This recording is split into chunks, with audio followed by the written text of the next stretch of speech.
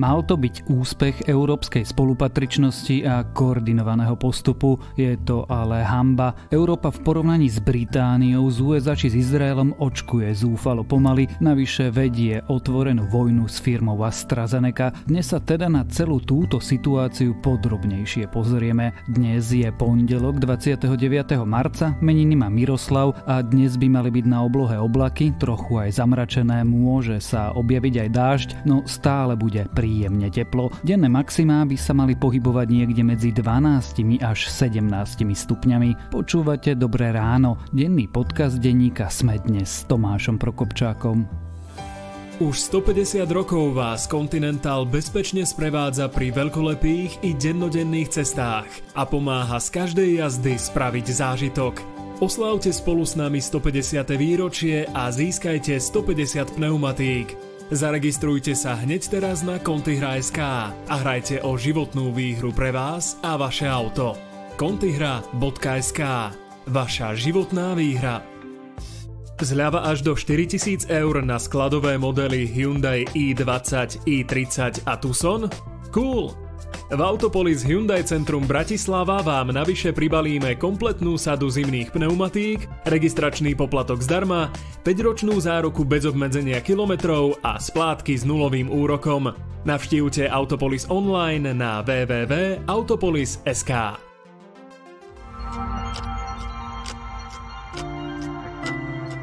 A teraz už krátky prehľad správ. Eduard Heger môže byť novým premiérom. Igor Matovič včera pripustil, že si vo vláde vymenia posty. Znamenalo by to, že Matovič môže byť ministrom financií. Zároveň povedal, že nebude chcieť od strán SAS a za ľudí nič a rámcoval to slovami o nejakom odpúšťaní. Znamená to, že Richard Sulík či Mária Kolíková by vo vláde Eduarda Hegera mohli zostať ministrami. Počet hospitalizovaných pacientov na ochorenie COVID-19 cez víkend naďalej klesal, nemocnice však stále hlásili viac ako 3000 pacientov s potvrdeným novým koronavírusom. Posledné dni klesa aj pozitivita vykonaných testov.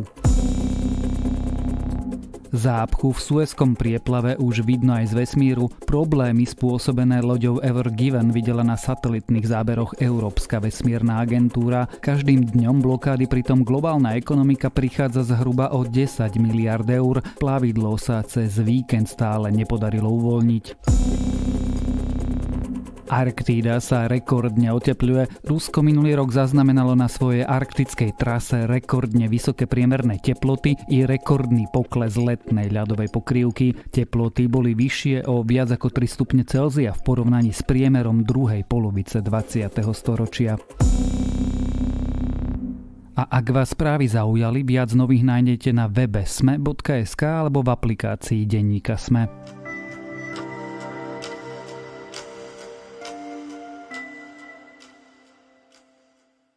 Na začiatku to vyzeralo ako úspešný príbeh. Európa bude postupovať spoločne, bude tak mať lepšie šance, ako keď by si každá krajina vyjednávala s výrobcami vakcín po svojom, lenže namiesto toho sa dnes v Únii očkovanie zadrháva, štáty sa sporia o prerozdelenie očkovacích dávok a Európa zároveň vedie zúrivý spor so spoločnosťou AstraZeneca, ktorá nedodáva sľúbené vakcíny a ktorého dôsledky cítime aj na Slovensku. Prečo Únia vedie vojnu s farmafirmou a sporí sa s Britániou, ako sa to stalo a či Európa začne blokovať vývoz očkovacích látok, či dokonca zoštátni fabriky na vakcíny, sa dnes budeme rozprávať so šéfom zahraničného spravodajstva denníka SME Matúšom Krčmárikom. A mysterious stock of 29 million doses of AstraZeneca vaccines discovered in this factory.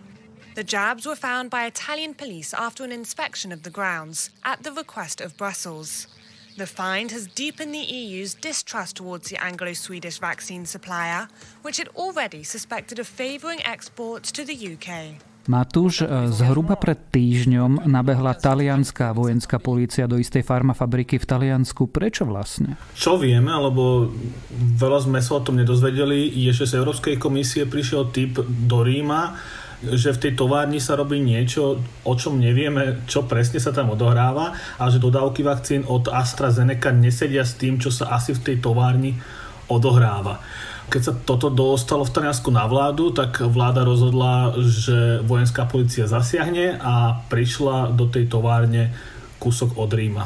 Čo v tej továrni policia a vojaci našli? Áno, v tej továrni našla 29 miliónov dá- dávok AstraZeneca, o ktorých európske úrady podľa ich tvrdení nevedeli.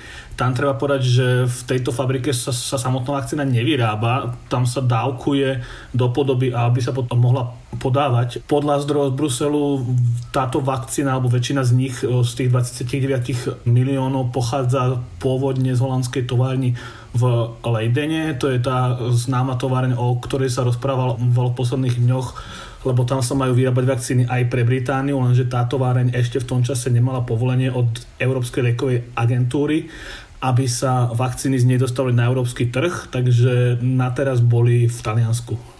To sa dá len tak ukryť takmer 30 miliónov dávok vakcíny, však to musí byť e, obrovský objem dávok. Ako vidíme, zjavne, že sa to dá, no. Prečo sa ich vôbec niekto snažil ukrývať? Špekulácie sú, že AstraZeneca ich e, skladovala preto, aby v budúcnosti ich predala niekomu za vyššiu cenu, ako sa dohodla s Európskou komisiou, lenže to sú naozaj špekulácie. AstraZeneca oficiálne hovorí, že nešlo o nič neobvyklé, že si v Taliansku skrátka naskladovala dodávky, ktoré potom chcela poslať hromadne do Belgicka konkrétne s tým, že z toho Belgicka malo 13 miliónov dodávok smerovať do projektu COVAX, v rámci ktorého svet pomáha menej rozvinutým štátom a ďalších 16 miliónov malo ísť na európsky trh.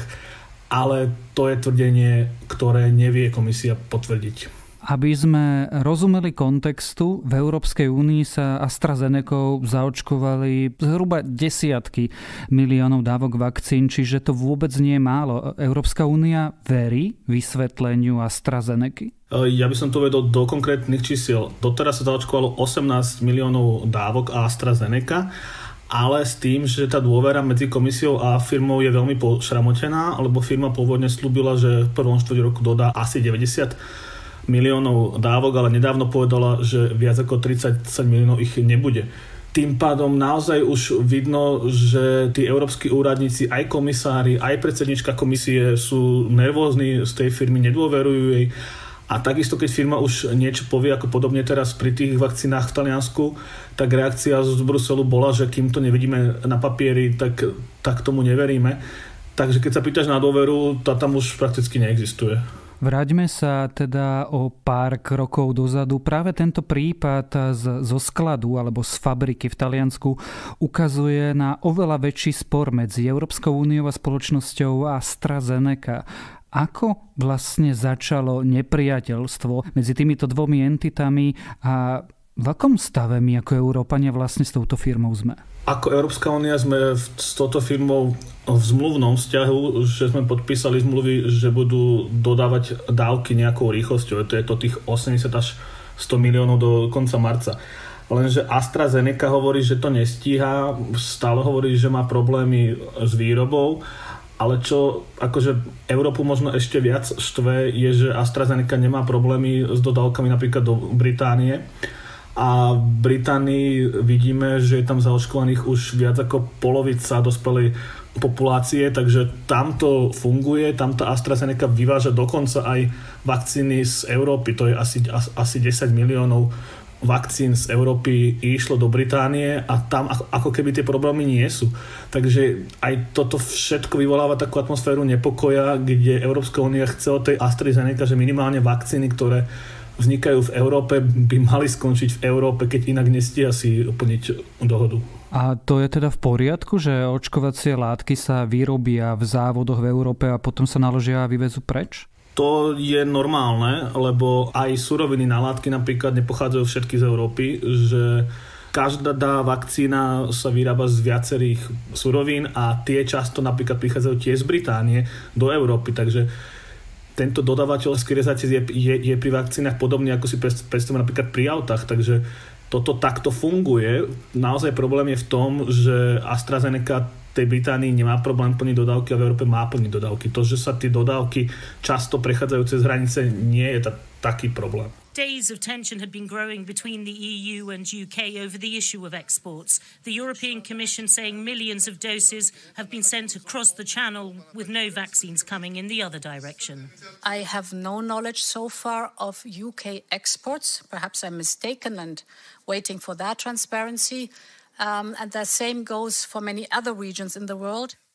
Európska únia sa ale spoločnosti vyhráža, že ten vývoz zablokuje Prečo a ako je to vôbec možné urobiť? V súčasnosti Európska komisia a potom na samite lídrov sa odobil mechanizmus, keď bude môcť zablokovať vývoz vakcín a to v prípadoch, že tá firma si neplní záväzky voči Únii a keď budú mať, mať potom vakcíny do zahraničia, tak by sa bralo do úvahy to, kam idú. Či napríklad že či idú do krajiny, ktorá je na tom s očkovaním oveľa lepšie ako Únia.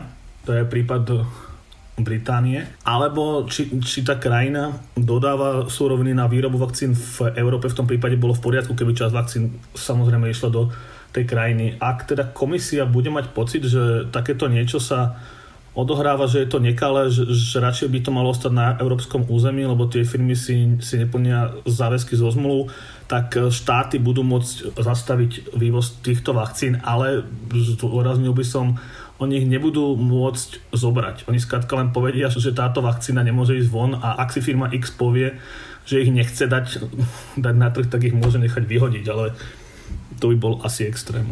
Prečo to nemôžu urobiť? Ja rozumiem nejakým právnym záväzkom a nejakým legálnym postupom, ale nie je toto situácia, keď a poviem to veľmi ľudovo, niektorej krajine z politických dôvodov rupnú nervy a jednoducho zoštátni tie fabriky AstraZeneca? Neviem si, si to predstaviť, lebo to je krok diktatúry, ktorý by absolútne poprel všetky zmluvy o ochrane investícií, poprel by vlastnícke právo a do budúcnosti neviem, či by tu niekto ešte chcel investovať, keby vedel, že sa toto môže stať. A či je to vec správne možné, podľa mňa nie. Ako sme sa do tejto situácie vlastne dostali? Ako sa stalo, že niektoré krajiny, alebo pre niektoré krajiny AstraZeneca je schopná slúbené objemy plniť a Európskej únii jednoducho nedodáva dosť vakcín?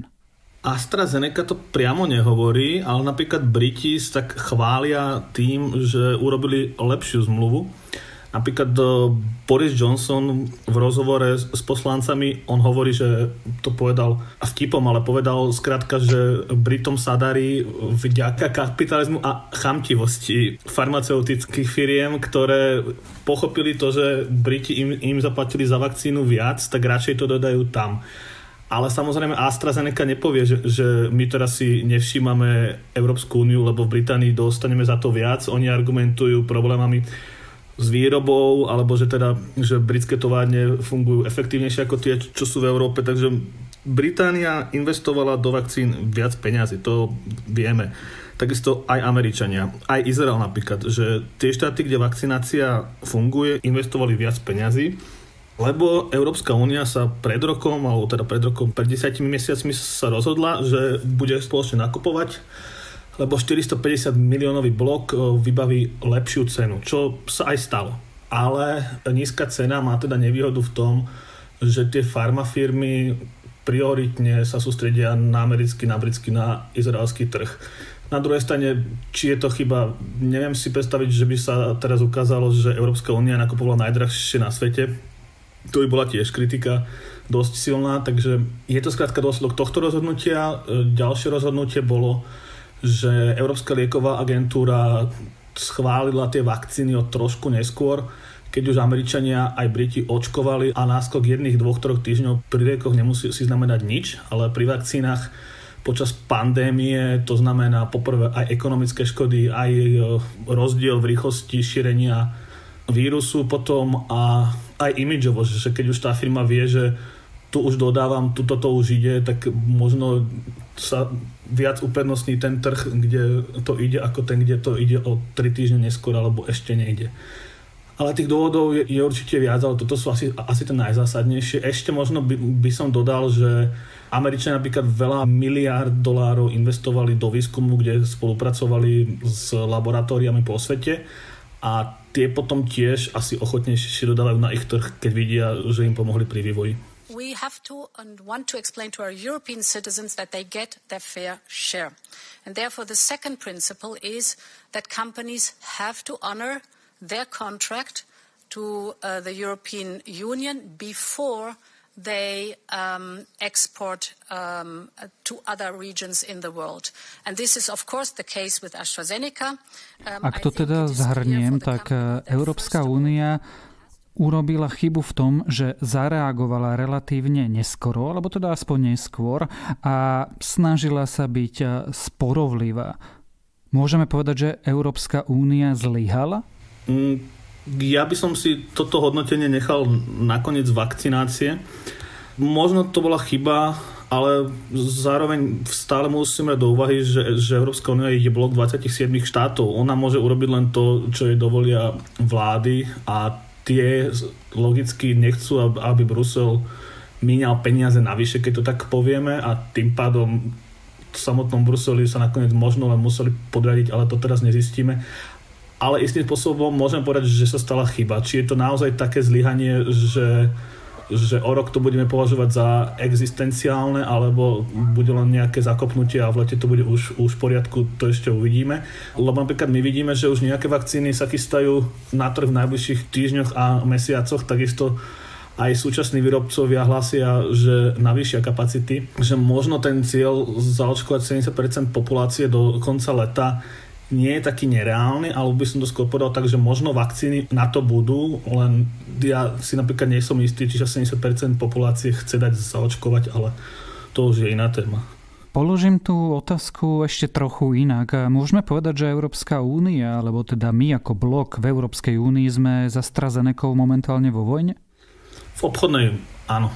Ako sa to v Európe prejavuje? A ako sa to prejavuje napríklad na Slovensku, keď nám župné očkovacie centra hovoria, že prestávajú očkovať, lebo nemajú čím. Na Slovensku sa to prejavuje aj týmto, ale zároveň niektoré centra hlasia, že, že majú prebytok vakcín pre ľudí nad 70 rokov, lebo tí sa očkujú Pfizerom a Modernou ale je problém pri očkovaní ľudí od 60 do 70, myslím, lebo to sa očkuje AstraZeneca, že tá AstraZeneca tu nie je. E, možno by sa dalo pomôcť tejto situácii tým, že by sme aj mladších očkovali Pfizerom, ale ešte nedostatok AstraZeneca sa paradoxne prijavuje aj tým, že v chladničkách ostáva mnoho dávok AstraZeneca, lebo AstraZeneca sa rovnako ako väčšina iných vakcín sa podáva na dvakrát. A niektoré štáty sa obávajú, že keď pichnú tú prvú vakcínu, že keby teraz zaočkovali viacero ľudí prvou vakcínou, že tú druhú nedostanú, tým pádom radšej šetria tie vakcíny v chladničkách a čakajú, kým ubehne ten rozdiel 10 týždňov. Takže mnoho AstraZeneca paradoxne ostáva nevyužitej, lebo sa bojíme, že by nebolo na druhú dávku. Čo teraz s tou situáciou Európska únia plánuje urobiť a keď sa opýtam prakticky, ako sa to prejaví na Slovensku?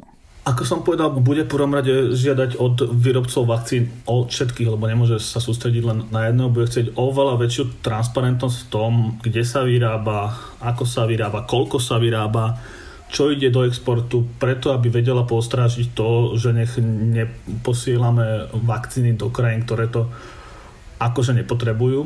Takže očakávam taký ten väčší dohľad, väčší tlak. A Slovensku by sa to mohlo prejaviť podľa očakávania že teda AstraZeneca by začala lepšie plniť svoje záväzky a tým pádom by na Slovensku mohlo prísť viac vakcín. Viem, že som sa to už pýtal, ale na záver sa to opýtam ešte raz a úplne explicitne. Má Európska únia a Slovensko ako člen tohto bloku nejakú páku, nejaký nástroj, nejakú pozíciu, vďaka ktoré môže tú AstraZeneca prinútiť, aby plnila to, čo slúbila? Paradoxne asi nemá, lebo to, čo vieme o zmluve s AstraZeneca, že tam sú povinnosti pre firmu, ale nie je tam žiadna penalizácia, ak ich nesplní. Takže, ako som povedal, Európska únia môže zakázať vývoz vakcín, nemôže prinútiť firmu ich dať na európsky trh, aj keď neviem si predstaviť, prečo by to AstraZeneca nedávala na európsky trh, ale keby sa zaťala, tak by asi nemáme ju ako dotlačiť do toho.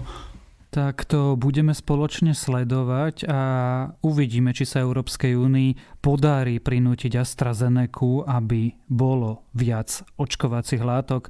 O AstraZeneca a o jej spore s Európskou úniou sme sa rozprávali so šéfom zahraničného spravodajstva denníka SME Matúšom Krčmárikom.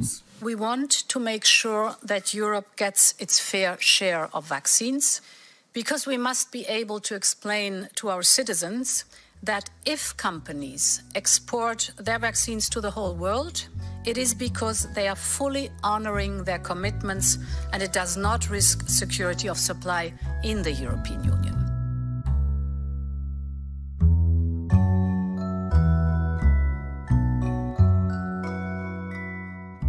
Tejto zvláštnej dobe je to vlastne dvojité odporúčanie. Ľudia sa hrajú tisíc ročia. Krátili si tak čas, nadvezovali vzťahy, ale aj gamblovali, či dokonca okolo toho postavili celé rituály. Spoločenské hry sú fenoménom a mnohé z nich potrebujú kocky, kedy si našim predkom stačili klbové kostičky, až nejakému géniovi raz napadlo, že by ich mohol očíslovať. Zrodil sa tak prvok náhody a už nebolo kroku späť. Moje dnešné odporúčanie tak je, aby ste sa hrali, alebo si aspoň prečítali veľmi zaujímavý text, starodávny vynález, ktorý podnietil hranie hier na BBC, ktorý sa pozeral práve na vznik hier a hranie sa. A to je na dnes všetko. Dávajte na seba pozor a majte príjemný týždeň. Počúvali ste Dobré ráno. Denný podcast denníka Sme s Tomášom Prokopčákom.